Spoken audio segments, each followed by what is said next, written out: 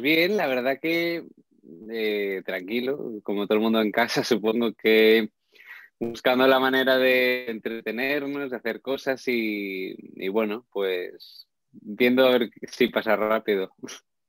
Ahora un poco la pregunta que hacemos siempre, ¿no? Durante el confinamiento que, que nos ha tocado vivir, ¿has aprovechado para componer, para trabajar un poco en tu carrera musical? Pues mira, la verdad que pensé que iba a ser muchísimo más productivo, eh, que iba a hacer muchísimas canciones, e iba a estar. Y como he, estado en momentos tan, tan dispares, eh, pues ha habido momentos bastante mm, de bajón, de decir qué voy a hacer, porque al final eh, te presentas con un futuro muy incierto en casa en el que no puedes trabajar y bueno, es complicado. Entonces, sí que es verdad que eh, no he estado muy inspirado para, para, componer. Sí que he estado escuchando muchas cosas, he escrito alguna cosa, he empezado a componer, pero no he terminado nada. Es decir, entonces no he aprovechado lo que me hubiese gustado y sirvió para darme cuenta de que a veces tener todo el tiempo del mundo tampoco te lo permite.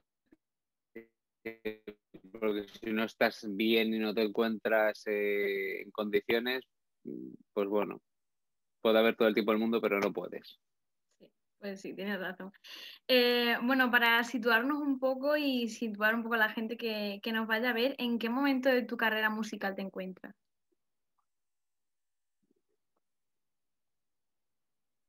Pues como te decía en un momento, mm, que no sé hasta que, no sé cómo van a, van a ir las cosas de aquí en adelante.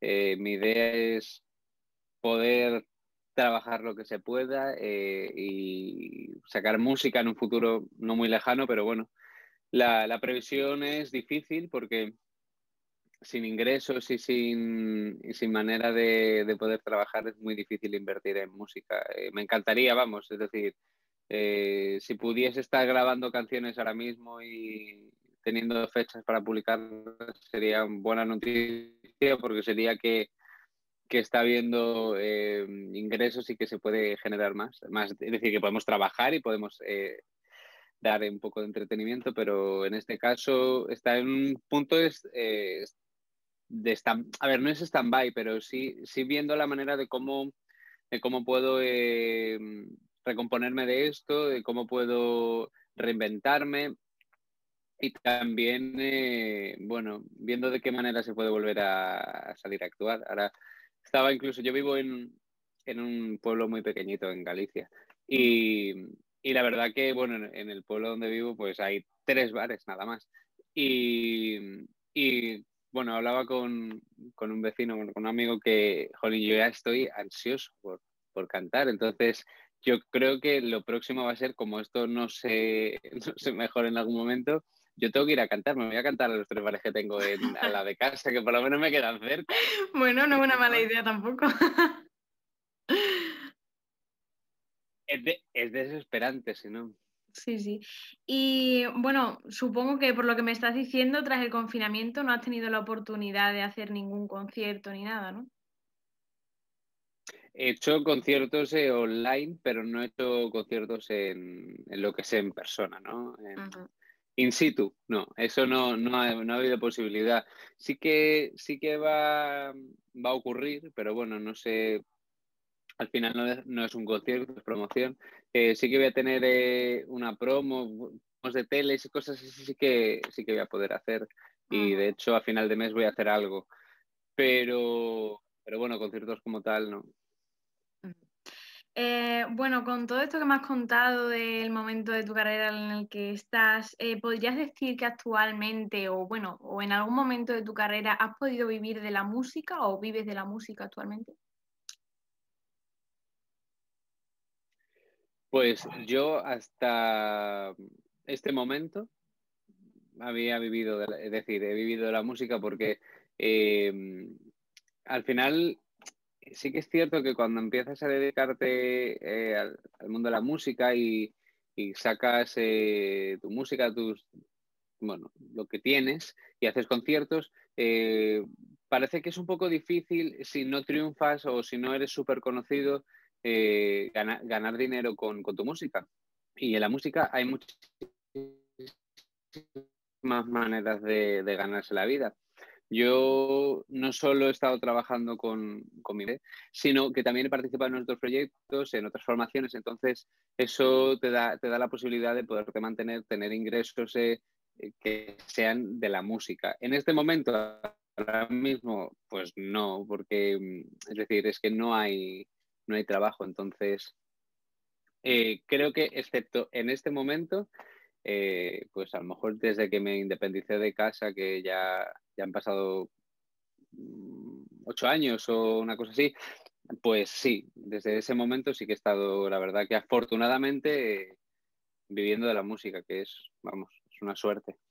Va a ser bueno, te voy a hacer, te voy a hacer un tour por mi casa ya. Oye, pues mira, ya tiene un plus la entrevista. A ver, vamos a ver. Esto. Es que hay veces que esto de la. Está bien las entrevistas así, porque por lo menos podemos hablar un poco con vosotros, pero hay veces que las conexiones, madre mía. De hecho, me voy a recibir esta visita en medio de la entrevista pero también. pero no, no, es visita, es decir, es mi novio que acaba de llegar a casa. Bueno, pues mira, otro plus. a ver, espera un segundo que. Estoy, estoy, buscando una zona, a ver si aquí hay un poquito más de conexión. Sí, sí. A ver, vamos a ver si. A ver si mejora, si no intento, moverme, intento moverme. Bueno, mejor. No sé sí, si. De momento. Voy a intentar buscar. ¿Sí? Sí.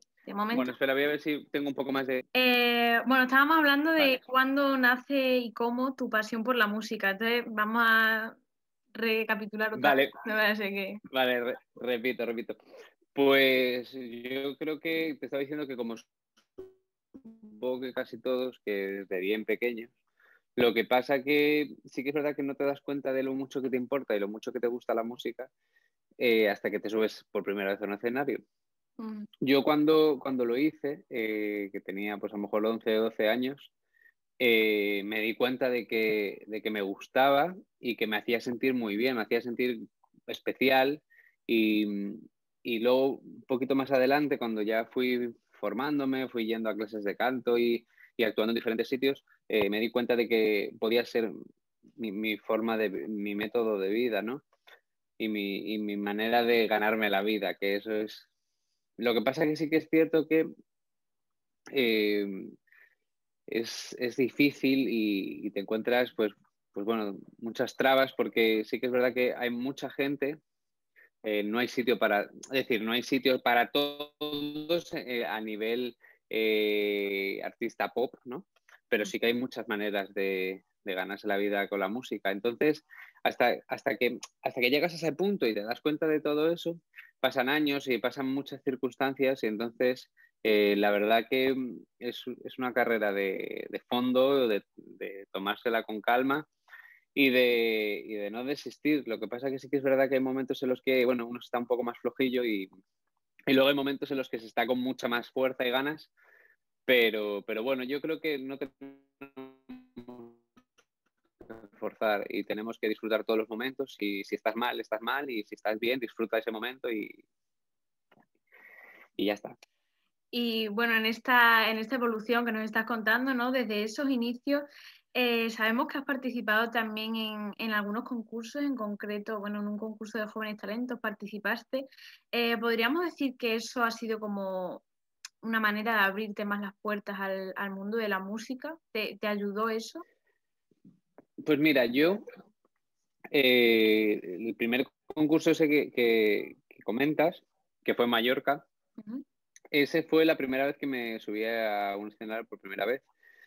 Y, sí que es verdad que a cada sitio que vas conoces gente, eh, conoces a personas del medio y todo cada una de las oportunidades que, en las que he participado o me han dado la oportunidad de estar presente, todo ha sido beneficioso. Es decir, al final mm, sí que es verdad que hay un punto en el que crees que participar en demasiadas cosas puede ser negativo, porque lo he vivido, es decir, de, no querer presentarme a programas porque parece que puede ser mm, eh, perjudicial para tu carrera. Lo que pasa es que ahora sí que es verdad que están como bien vistos. Entonces, eh, creo que hemos dado un pasito en adelante y, eso es muy positivo para, nosotros. Y yo, hasta ahora, en lo que, en lo que mm, he participado, pues sí que es verdad que no, no he sentido como un punch eh, súper grande de decir que mm, eso cambió mi carrera musical, ni siquiera lo hizo el ganar el disco del año con Radio Televisión Española. Y te das cuenta de que al final eh, hay cosas que, que, no, van a empujar muchísimo más tu carrera, sino son experiencias y que, y que tienes que seguir trabajando. Sí que es verdad que de todo sale algo positivo y eso es lo más importante. Y bueno, mm, siempre también lo pregunto ¿no? a todas las personas mm, como en qué género se, encasillan. Sí es verdad que hay veces que me contestan pues que no se quieren encasillar en un solo género. En tu caso, ¿cuál dirías que es el género que, más te gusta, el que más te gusta? Yo creo que lo que he hecho hasta ahora es música pop. Entonces, no es que me quiera encasillar, porque sí que es verdad que la música, tampoco hay que encasillarse, pero pero también es verdad que pues los géneros están ahí y, cada uno toca unos, unos géneros u otros y yo en mi caso lo que más he hecho ha sido pop. He hecho pop fusionado con un poco más de música electrónica, eh, con un poco más de rock, un poco más de música eh, acústica, entonces al final no deja de ser el pop. Eh, sí que se va adaptando un poco a, a, los tiempos en los que se publica la música, pero, pero es pop. Eh, bueno, el último single que, sacaste hace un tiempito será Lo Entenderás. Eh, me gustaría que hablásemos un poco de él, eh, porque fue compuesto por Alberto Jiménez, si no me equivoco, de Mi Cafeína. ¿Cómo surge la idea de interpretar una canción suya? Pues mira, es que me llevo bastante bien con Alberto y Alberto es que eh, tiene una manera de componer que a mí me, encanta. Entonces, eh, trabajamos por primera vez en, dos de mis canciones de Requiem Existante. Y cuando empecé a, mirar la opción de, sacar un nuevo single, lo primero que se me ocurrió fue, fue hablar con él para ver que, si le apetecía volver a hacer algo conmigo. Y, la verdad que fue increíble, como siempre. Eh, me mandó un montón de opciones. De hecho, Luego al final hubo ahí, por problemas de tiempos, pero en un principio iban a salir dos singles paralelos. Eh, iba a salir eh, este, que lo entenderás, y se había empezado a trabajar en otro que también era de, Alberto, pero que finalmente por, problemas, porque yo eh, empecé a trabajar, bueno, empecé, me uní a una formación aquí en Galicia, a una orquesta, entonces, claro, ya no tenía tiempo para, para, seguir con la grabación y continuar con los ensayos y el espectáculo. Entonces lo, paralicé y luego sí que es verdad que como eh, iba en una onda totalmente diferente a, lo entenderás y había visto que estaba gustando bastante, dije, pues bueno, a lo mejor es, es buena idea continuar con esa línea y se quedó ahí estancado ese tema. Y supongo que bueno, que lo que vaya a venir más adelante pues será también un poco con esa onda de lo entenderás y, súper agradecido, Alberto, por, contar conmigo y por querer participar en, este single. Y bueno, aunque en ese single la canción estaba compuesta por Alberto, eh, ¿tú también te gusta componer tus propios temas? Sí, sí, sí. Eh, en, el disco, en el último disco que saqué, eh, sí que incluí dos temas míos compuestos. Lo que pasa sí que es verdad que y lo intento, es decir, eh, pero no siempre eh, me salen cosas que me gusten o, que las dé por, finalizadas y diga, oye, pues esto tiene, tiene sentido. Entonces, como que me cuesta mucho eh, que me guste algo de lo que hago yo. Entonces, la mayoría de veces hago más de intérprete que de compositor, pero sí que tengo temas en mi autoría. De hecho, el tema que tengo con, con Ena Laconte es un tema que compuse yo. Y bueno, para ti lo entenderás, ¿no? Este último trabajo del que estábamos hablando, eh, ¿qué significado tiene y qué es lo que pretende transmitir cuando la interpreta? Pues mira, eh, a mí lo que más me gustó de la canción cuando la escuché es que es, es una historia en la que no, no estás pensando en, una mujer o en un hombre, sino simplemente estás pensando en una historia y, te da la posibilidad de, sentirte identificado eh, simplemente por lo que está contando. Eh, yo me había encontrado muchas veces en, cuando escuchas canciones o cuando incluso te las envían para, cantarlas, que ya van directamente hechas para, para ser interpretadas de pues yo qué sé, de un chico cantada a una chica o de una chica cantada a un chico. Y a mí me apetecía no ponerle género a lo que estaba cantando, simplemente interpretar una canción con una historia y porque así das la posibilidad que la gente eh, se pueda sentir identificada. Yo eh, hay muchísimas canciones que si ya directamente ya van em, relacionadas, pues yo qué sé, pues con una relación heterosexual, con una relación eh, entre dos mujeres, yo, ya, es decir, aunque la historia sea similar, sí que es verdad que ya no conectas tanto. De esta manera, es una manera en la que tú escuchas la canción y tú te la llevas a tu vida, la adaptas a tus circunstancias y a, y cómo tú vives. Y eso fue una de, las cosas que me transmitió cuando la escuché por primera vez. Y bueno, tras este single hemos visto que sigue subiendo contenido a YouTube, ¿no? Algunas covers en los últimos meses. Eh, aparte de eso, ¿tienes pensado sacar un nuevo single? ¿Estás trabajando en algo nuevo que nos puedas contar?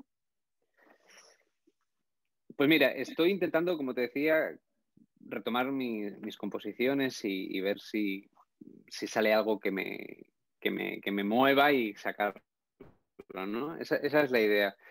Y, estoy intentando también ver la manera de, cómo relanzar este, este último tema, lo entenderás, porque sí que es verdad que me gusta mucho y me gustaría poderlo dar a conocer a más, a más público. Y estoy viendo quizá hacer alguna remezcla, sacar alguna versión en, acústico. Eso es un poco lo que, lo que estoy viendo con la idea de, poder eh, hacer actuaciones y promo y poder cantar, que es lo prioritario ahora. Y, bueno, pues si se puede, yo encantado. Eh, bueno, haciendo una visión general ya de todo lo que hemos comentado de tu carrera, eh, si tuvieras que quedarte con un momento o algo que te haya pasado en el escenario con algún fan, eh, algún premio especial que te haya hecho especial ilusión, ¿cuál sería? Pues, mira, ha habido, ha habido varios momentos, pero yo creo que el, mira, el primero que se me acaba de venir ahora a la cabeza fue el momento en el que entré en el estudio de grabación y, escuché a, Mai cantar la, canción de Cúspide. Fue súper, no sé, fue emocionante porque una canción que había escrito yo, que había nacido en mi habitación, de repente vérsela cantar a alguien que para mí es eh, es increíble como compositora y como, cantante. Entonces, eh, verla interpretarlo con, su voz, que es tan peculiar y tan única, eh, algo que había cantado yo y que había compuesto yo, eh, fue como flipante. Es decir, yo, en ese momento fue como, ostras, que esto va en serio, ¿no? Ese, es el primer momento que se me, ha, venido a la cabeza. Y luego sí que es verdad que está claro que uno de, de los momentos más importantes es obviamente cuando, cuando gané el premio de, televisión española, porque fue un disco en el que había trabajado tiempo, era mi primer disco y que había votado muchísima gente. Es decir, que yo a día de hoy lo pienso y digo, joder, tío, votó mucha gente y, hay, hay momentos en los que no era, bueno, en ese momento yo no era consciente de, de, la, de la cantidad de gente que había votado y sí que es verdad que muchas veces que te das cuenta de todo esto pasado el tiempo, cuando lo recuerdas y dices, ostras, que esto lo he vivido yo y que votó toda esa gente, que eh, actué allí, mm, lo gané y fue, fue muy bonito. Además, eh, vinieron muchos amigos al, al plató a celebrarlo y, bueno, y ya lo que era el, set de la actuación, las bailarinas que llevaba que venían desde Mallorca conmigo, que que habían estado eh, trabajando conmigo desde mis inicios, me apetecía que ellas viniesen y bueno, lo recuerdo como algo muy bonito, la verdad. Bueno, pues una bonita manera de cerrar la entrevista. Muchas gracias, Dani, por haber aceptado estar este ratito con nosotros. Y nada, esperemos que vaya Nada, muchas gracias a ti. Y que pronto podamos verte ya en directo, que es lo que, lo que esperáis, claro, todo. Ojalá, Ojalá estaría, estaría genial y nada, yo aprovecho este espacio para, dar las gracias a vosotros por, por, también quererme escuchar este ratito, por dejarme que me conozcan los que están pendientes a vuestras cositas y nada, mandar un mensaje de ánimo a todo el mundo que, que vamos a seguir esto súper fuertes, que vamos a sacar cosas muy positivas y que mucha salud para todos y que, y que os cuidéis mucho. Pues sí, pues igualmente Dani, muchas gracias. Adiós. Chao. Chao.